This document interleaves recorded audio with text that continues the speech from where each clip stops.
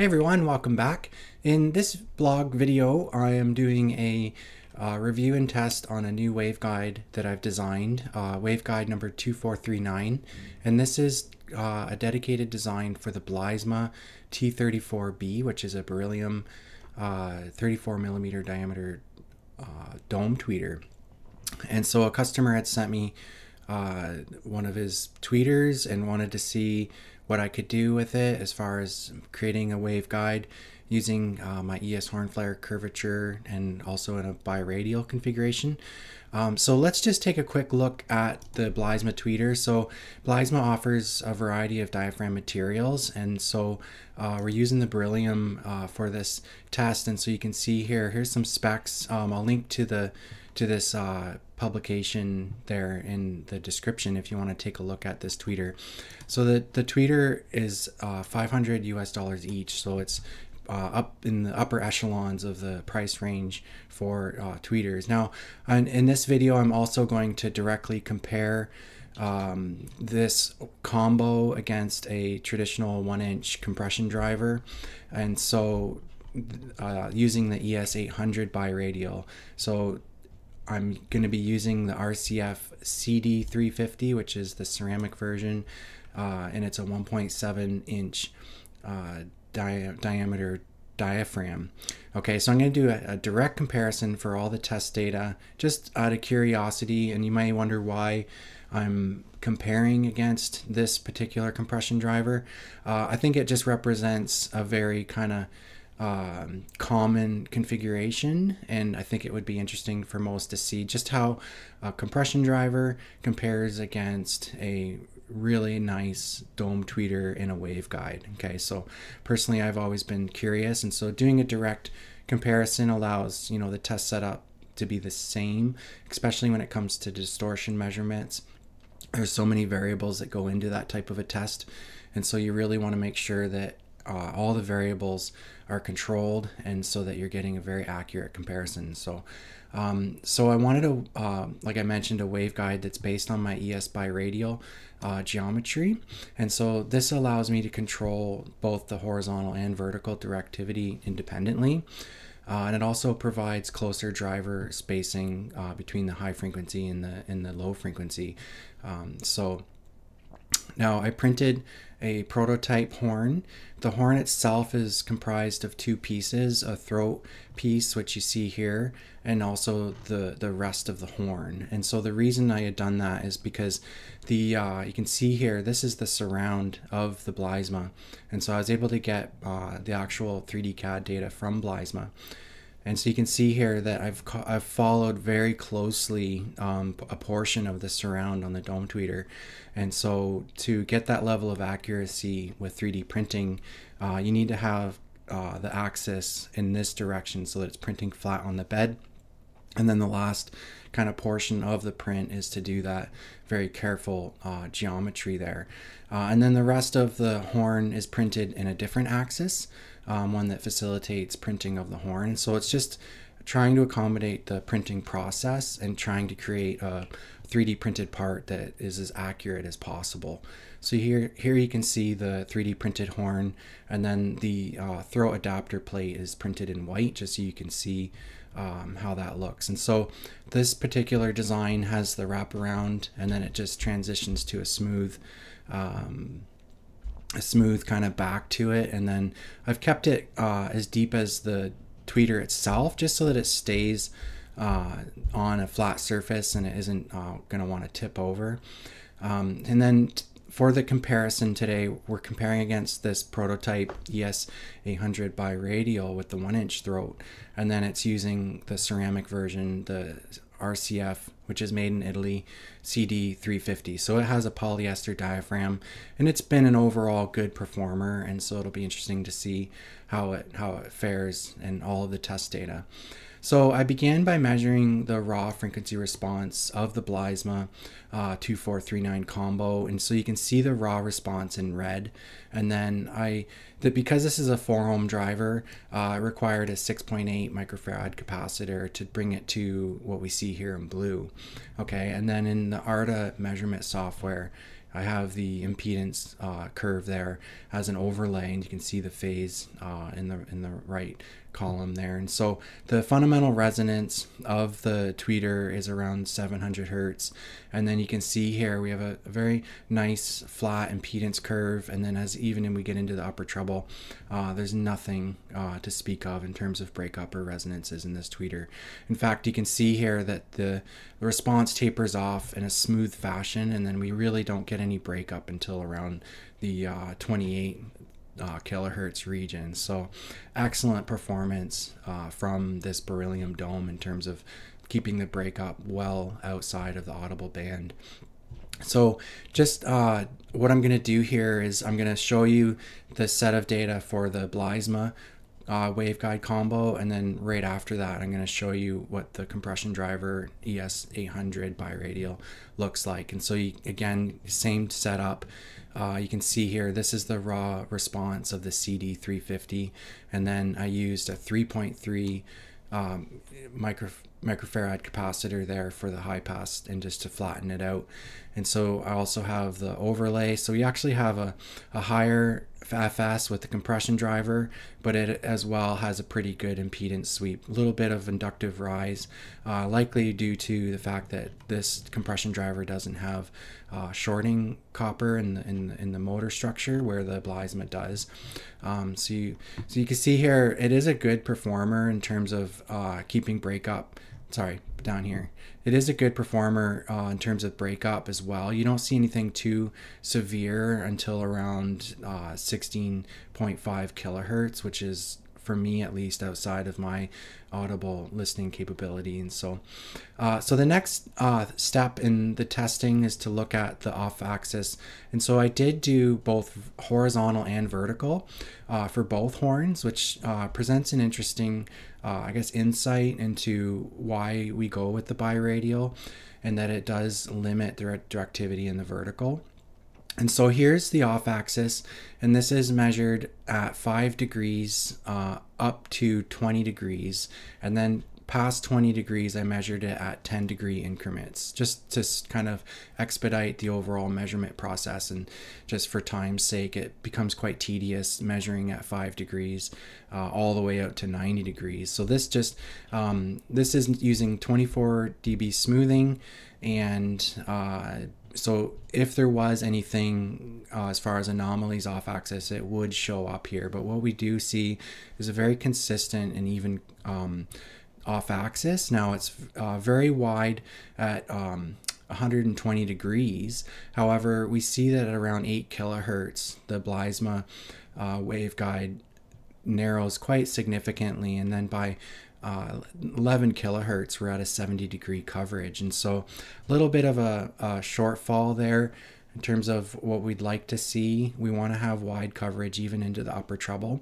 And so this uh, likely a factor in why we see this is due to the larger diameter of the Bliesma at 34 uh, millimeters. So looking at the vertical directivity of the of the uh, two 2439 waveguide, we can see here that we don't really have the same pattern control uh, in the vertical. So we see that we have pattern control down to about 1.2 kilohertz. But in the vertical, we really don't have any control until around uh, 2 kilohertz. And then we see a gradual narrowing of the directivity. So by um, 11 kilohertz, the directivity is only 40 degrees. Okay, and that is likely the what we'd want to see in a vertical. And so what that's going to do is just limit the uh, floor and ceiling uh, primary reflections in your listening space. Okay, so then I measured the uh, ES800 biradial, which is a one inch throat. And so you can see here that we have nearly constant directivity, provides 120 degrees coverage uh, across the bandwidth, and it only narrows to about 100 degrees when we look at the same uh, 11 kilohertz region. Um, vertical directivity of the ES800, we can see it's similar to the waveguide where we have a gradual narrowing. Pattern control is at uh, the same 2 kilohertz. And then by 11 kilohertz we're at 60 degree coverage um, which contrasts to what we saw with the uh, Bliesma which was a 40 degree coverage so overall the ES800 is providing uh, wider coverage both in the horizontal and vertical and particularly in the upper treble. So that's going to uh, affect the overall spaciousness and soundstage uh, perceived source width for the upper treble which is going to give you a sense of ambience. Um, so it is a factor that that that, uh, that we want to consider. Uh, time domain so it being a beryllium, we should expect stellar performance here, and we do see that with the Bliesma. So burst decay is virtually devoid of anything. Uh, it's not until you get up into like the the 28 kilohertz that we see some breakup occurring. Um, so very, very good result there. And then showing the same result, but in a, in a waterfall. Again, one of the cleanest that I've seen. And the uh, fundamental resonance seems to be well controlled there as we see it um, kind of encroaching there. If we compare the RCF, we see if another, it's a good result as well, uh, relatively speaking to other compression drivers. Uh, but we do see some stored energy. And what I should mention too that it, it rings out to around 15 uh, periods, which for me personally, I'd like to see uh, just as my target performance generally. Uh, I'd like to see everything kind of dead by about 18 periods. So in that sense, uh, the RCF meets my target performance. What we see here that outside of the audible band at around 18 kilohertz, we do see uh, some significant resonances that rings past the 18 or 18 periods. Uh, the CSD waterfall again looks really good, but we see just by virtue of it being a compression driver, it's a little more underdamped compared to the Bliesma, and so you see that resonance coming in pretty strong near the FS of the driver. Um, so we do see again the uh, a small bit of stored energy there, but overall it's a good result. Uh, distortion, for the distortion test, I simply tested it at 95 dB for all of the tests. And so it just kind of kept the comparison as simple as possible. And so starting out with harmonic distortion, you can, and in particular, I'm just looking at the higher order harmonics, the third and fourth harmonic. Uh, and, and, so you can see here the Bliesma is at 0.008% uh, for the 2 kilohertz region. If you want to know how to read this, so you can see here, this is where I've placed the cursor in the measurement software, and then it produces the uh, second, third, and fourth harmonic results as a percentage here in the bottom and so uh, extremely low distortion below 0.01% uh, if we want to change the graph display to display dB instead of percent, so I've just simply changed, uh, this is showing this is showing the same result but in a dB scale. So you can see here that the third and fourth harmonic is uh, 81 dB into the noise floor, so extremely low uh, result there. For the compression driver, same setup, same test SPL. You can see um, as well that the third and fourth harmonic is extremely low at um, 0.007. So third harmonic is even lower uh, against the Bliesma, but then we see the fourth harmonic a little bit higher. But I mean, we're we're nitpicking over uh, extremely low numbers that are well below the threshold of audibility, and so this is more more or less simply an academic interest on how these two drivers compare. Uh, again, just changing the vertical scale to dB instead of percent, we can see uh, minus 82 dB and minus 77 dB respectively for the uh, third and fourth harmonics. So, um, so the conclusion there on the harmonic is that the uh, RCF and the Bliesma have similar harmonic distortion pro profiles for H3 and H4. So looking at multiband uh, multitone distortion, here's the Bliesma at the 95 dB, and so we have um, 60 dB of uh, IMD noise floor for the 1.5 kilohertz region, and then it improves. Uh, you can see here how it troughs down, uh, and then by the 5 kilohertz region, we have 70 dB of dynamic range. Um, for the upper treble, we're looking at around 65 dB. Um, now I tested the RCF, exact same test SPL, 95 dB. We can see that we have 64 dB for the 1.5 kilohertz region, and then minus 61 dB for the 5, and then the upper treble is minus 55. So just general conclusion here, uh, the Bliesma seems to outperform the RCF marginally on the IMD by about 5 to 8 dB.